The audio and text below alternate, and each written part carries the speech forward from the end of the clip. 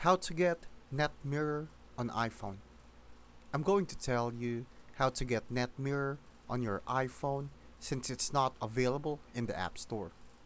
NetMirror works via web-based shortcut instead of a traditional app. First, open Safari and visit a trusted NetMirror URL like netmirror.app or iosmirror.cc. Once the page loads, tap the share icon then select Add to home screen. Rename it if you want, and hit Add. This creates an icon on your home screen that opens NetMirror in a browser wrapper that mimics an app.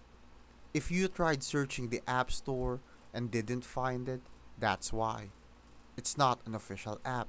Just use the Safari method, update the shortcut whenever you get redirected, and you'll be watching shows like a native app.